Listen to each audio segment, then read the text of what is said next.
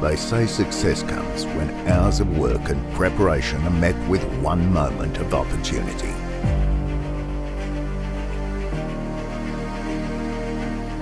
For Fortitude Boxing's favourite son, Ben Kite, that opportunity will come on September 5th when he faces off against Tysinn Best for the Australian welterweight title. Kite is on an 11 fight win streak, victorious in his last bout by a unanimous points decision in October of 2019.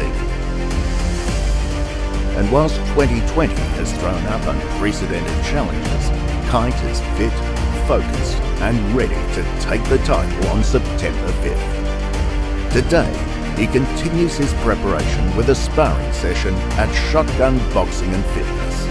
The fight is 23 days away.